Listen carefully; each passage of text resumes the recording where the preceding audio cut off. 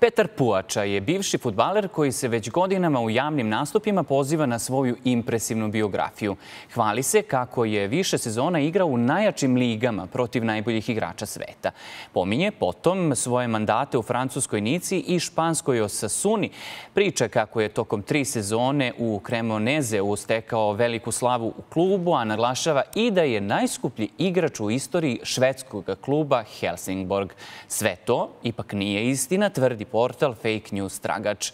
O čemu se tu zapravo radi? Razgovaramo sa Stefanom Kosanovićem, autorom teksta u kom se proveravaju detalji biografije ovog bivšeg futbalera. Dobro jutro, hvala vam što govorite za Probudi se i prošli put smo mi već govorili o sportskoj psihološkinji Saši Sredanović. Ona se lažno predstavljala javnosti, međutim ovog puta u pitanju je lažno predstavljanje jednog futbalera. Ko je zapravo taj futbaler Petar Puoča, ali ako pitamo njega? Pa, pre svega, dobro jutro. Ja mislim da ovo nije potpuno isti slučaj, jer Saša Srdanović je potpuno fabrikovala e, svoju biografiju, dok je Petar Pojača, jeli, jedan futbaler koji stvarno iza sebe ima e, veliki broj klubova u kojima je zapravo igrao i koji dan danas ima jednu uspešnu futbolsku školu, ali nažalost e, nekako ispada da se više hvali klubovima u kojima nikad nije igrao, to jest iz kojih su nam odgovorili na naše upite i rekli da nije igrao ili u klubovima u kojima zapravo e, tvrdi da je imao mnogo uspešniju karijeru nego što je to zapravo bila. Koji su to klubovi, e, o kojim klubovima sada pričate? E, klubovi koji su nam e, rekli da Puača nikad nije igrao u njihovom klubu su Španska Osasuna, Francuska Nica e, i dva italijanska kluba, Dženova i Peskara. Što se tiče italijanskog kluba Cremoneze, iz njega su nam odgovorili da on tamo nije proveo tri sezone, nego po njihovim saznanjima samo jednu sezonu je odigrao osam utakmica, dok je u Švedskoj gde tvrdi da je bio veoma e, omiljen među, među navijačima, e, proveo takođe e, na terenu jednociferni broj utakmica. E sad, on je e, u trenutku e, prelaska, e, kažu, bio najskuplje plaćen igrač kluba i to su demantovali iz Švedske, je li tako? tako je, bilo je, kad sam istraživao, bilo je prosto čudno da neko sa tako malim brojem nastupa bude toliko skup, ali naravno uvek se dese u karijeri e, povredi ili neke nepredviđene situacije. Ja sam rešio da kontaktiram s njihovim e, PR, e, PR menadžerom koji mi je odgovorio da zapravo je to bilo mnogo ranije nego što se on zaposlio u klubu, ali da poznaje čoveka iz uprave koji je na ta, na, tada radio zapravo na transferima, pogotovo na transferima sa Balkana i da on može zapravo da tvrdi da je Poče bio daleko jeftiniji od recimo igrača kojeg je kupio e, sve sezone u Makedoniji. Tako da e, ispada da on zapravo e, ni, ni tada, kad je kupovano, pogotovo ne danas, e, nije najskuplji igrač kluba niti švedskog futbala. Menadžer komunikacije futbolskog kluba Đenova Dino Storace rekao je da za fake news tragač da ne, postoji, da ne postoje tragovi da je on igrao u tom klubu. Međutim, on ipak objavljuje te neke fotografije kao svojevrsni dokaz da je on nastupao u Đenovi. Na koji način onda sada možemo da kažemo da jeste ili nije? Tako je, na njegovim stranicama škole futbala često možemo da vidimo e, dve fotografije koje e, Puača predstavlja kao svoje iz, iz doba Đenove. U prvoj fotografiji je zapravo e, isečen jedan deo grudi gde se vidi e, logo, logo grba e, čiji duks nosi i u pitanju je Švedska. On je to predstavio jeli, kao e, fotografiju verovatno sa, sa zagrevanja u, u, u Đenovi, dok i druga fotografija bila veoma e, kompleksnije e, pronaći njen izvor, zato što obrnuta pretraga fotografije nije pokazala nikakve rezultate. Tako da smo zapravo e, morali da uporedimo i, i dresove koji je e, Puača i njegov protivnik imali e, na terenu i, i, i, i morali smo da uporedimo i, i, i datum i vreme. Ispostavilo se da je u objavama na društvenim mrežama e, Puača zapravo promašio i godinu u kojoj je utakmica bila, nije bila ni između Đenove i Atalante, nego je bila između Kremoneze u kom je igrao i Atalante nije u duelu bio sa kapitenom Atalante nego s nekim drugim igračem, tako da mogu da kažem da je i godinu i vreme i mesto i, i, i osobe na fotografiji sve zapravo bilo manipulativno sem sebe, sebe samog, on je, on je zapravo bio na fotografiji. I važno je da napomenemo da ste vi kontaktirali njega i šta je on rekao o, o vašim saznanjima?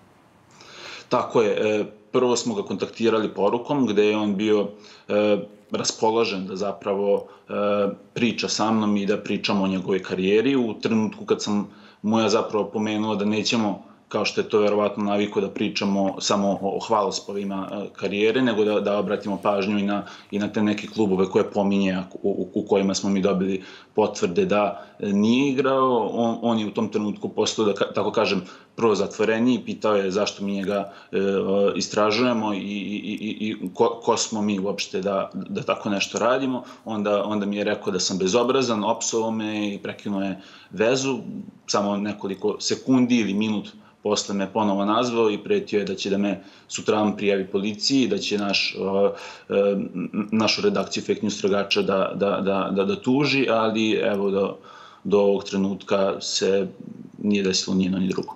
A možemo li ovom prilikom da mu odgovorimo zašto ste vi njega istraživali?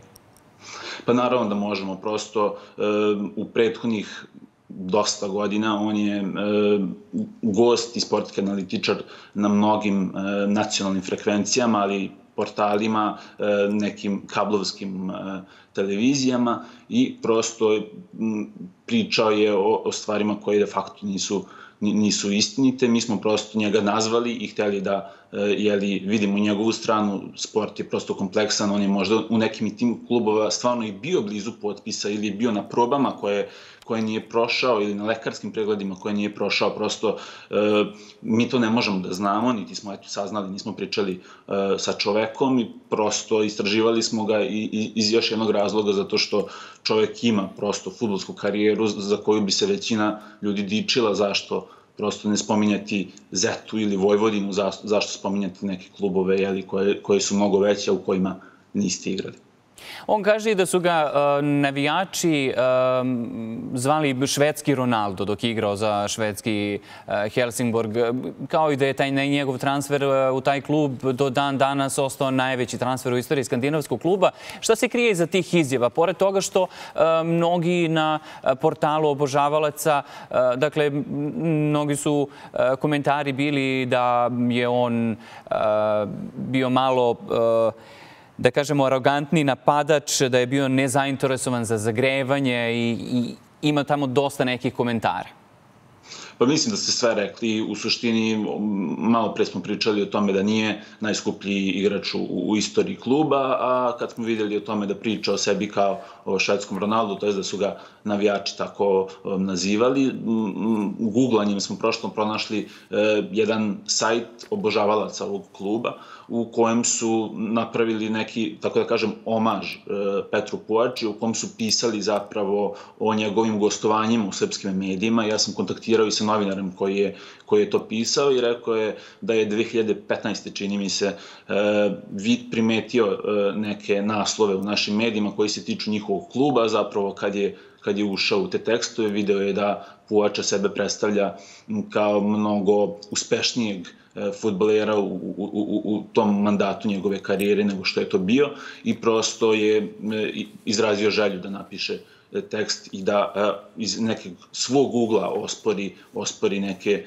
pojačine tvrdnje, zato što e, je on prisustvovao na, na, na, na više utakmica na kojima je, na kojima je pojača bio i rekao je da prosto nije bio impresioniran njegovim ni zalaganjem, ni, ni, ni fizičkom spremom, ni, ni, ni tehnikom, ali prosto to je, jeli, ne možemo da dokažemo da li ga je neko na tribinama ikad nazvao švedski Ronaldo, ali prosto možemo da kažemo da dobar broj E, navijača se ne slaže sa tom činjenicom.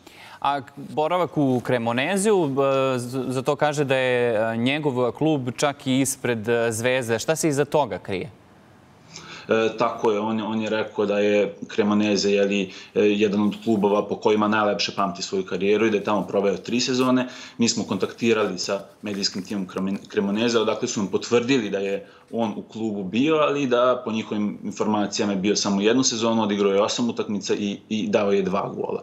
Mi smo ih takođe kontaktirali za informaciju da li je ikada dobio crveni karton i dobili smo negativan odgovor. Zašto smo ih to uopšte pitali? Pitali smo ih zato što je na, u, u gostovanju na jednoj televiziji sa nacionalnom e, frekvencijom. Puoča e, rekao kako je m, jedan od ponosnijih e, trenutaka u, u njegovoj karijeri, zapravo, zapravo trenutak kojim se on ponosi, je bio taj kad je u dresu Cremonezea e, jeli bez lopte udario jednog e, igrača albanske e, nacionalnosti i, i, i tu neku konstataciju je zapravo završio e, sa, sa i istako je to da zapravo mrzi osobe sa, sa, sa, sa, nacional, sa albanskom nacionalnosti. I na osnovu svega ovog e, rečeno, dakle, šta možemo da e, kažemo? Da li možemo u stvari da, da kažemo e, šta bi bio glavni cilj ili koja bi bila poenta ovih lažnih biografija i iz kog razloga bi on radio sve ovo? Pa ne znam, ja, ja bih kao neko ko je zloban mogao da kažem da e, zapravo sa veličanjem svoje karijere on pravi marketing neki svoj e, školi futbala, ali zapravo mi smo u, u, u arhivama novina i u arhivama nekih televizijskih e, snimaka videli da je on zapravo mnogo pre svoje škole krenuo e, da e, iznosi takve informacije. Pronašli smo tekst iz 96. u kom navodi da je u Đenovi, pronašli smo intervju iz 2004. u koji navodi e, sve ove informacije, tako da ja prosto ne mogu da vam odgovorim na to zašto on u, u, u medijima iznosi to što iznosi. Ja mogu da vam kažem da sam ja bio futbaler što nisam, da bi se sigurno hvalio karijerom takvom kakva je, pa makar ona bila i u tim nekim krugovima u kojim se taj čovjek možda kreće ne toliko fabulozna, ali prosto e, za sve nas koji jeli, smo, smo van sporta je prilično dobra, tako da eto, to je, ne, to je neka poruka da svi mi u životima možda treba da se hvalimo nečim što smo uradili da stvarno ne posežemo za tim nekim lažima i neistinama, pogotovo neistinama koji se mogu proveriti. I za kraj samo, dakle, za teme za koje je on bio sagovornik, da li e, to umanjuje njegovu e, kredibilnost? E, pa i, i to, bi, to vam ne bi mogao ovaj, odgovoriti. Prosto e, njegova kredibilnost je takva kakva je i ugostit će ga zvati e, televizije i, i, i novinari koji, kojima odgovara e, to što priča i ta, ta neka njegova istinita zapravo istorija o, o, o kojoj priča, tako da ja mogu samo da, da se nadam da će u budućnosti jeli neke e, neistine da, da, da izostave, da se više tiče tim nekim istinitim stvarima iz, iz svoje karijere. Stefane, hvala vam mnogo što ste govorili ovog jutra za Probudi se. Bio je to Stefan Kosanović sa portala Fake News Tragač.